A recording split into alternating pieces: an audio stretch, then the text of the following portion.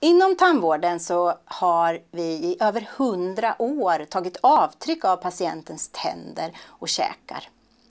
Eh, många gånger gör man det för att framställa någon form av tandersättning. Man använder då ett plastiskt material som man fördelar i en avtrycksform och eh, sätter in i patientens mun. Det här stelnar efter ett antal minuter. Man tar ut det, man får Eh, desinficera avtrycket och skicka det sen till sitt tandtekniska laboratorium. På laboratoriet så tillverkar tandteknikern en arbetsmodell. Och det är på den här arbetsmodellen som tandersättningen framställs. Därefter ska eh, tandersättningen och arbetsmodellen skickas tillbaka till tandkliniken där tandvårdsteamet eh, packar upp, fixar ordning och patienten får prova det här i munnen. Och är det en fin tand eller brygga man har fått så kan man sätta fast den i patientens mun. Eh, den här tekniken är gammal och väl beprövad och vi inom tandvården är så, vi är så tränade på den så att vi kan den väldigt bra. Det är ju fördelarna. Nackdelarna är ju att för patienten kan det vara ganska obehagligt att få in väldigt mycket avtrycksmassa i munnen.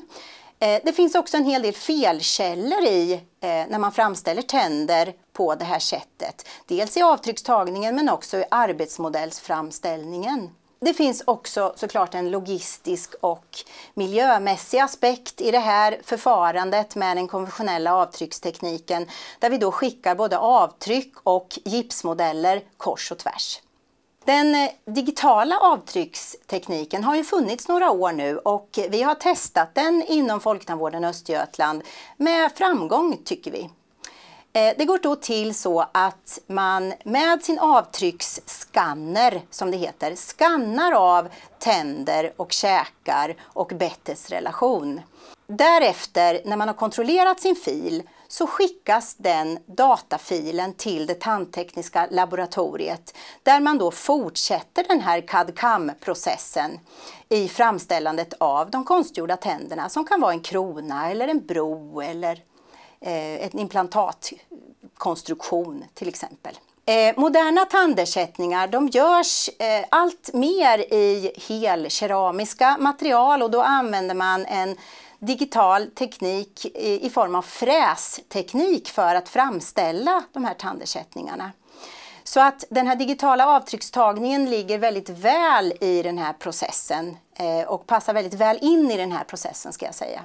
Fördelarna är ju eh, miljöaspekten såklart men också den förenklade logistiken för både tandläkare eller för både tandvårdsteamet och tandteknikern. Men framförallt vinsten här är ju att vi kan ge patienten en tandersättning som är riktigt högkvalitativ.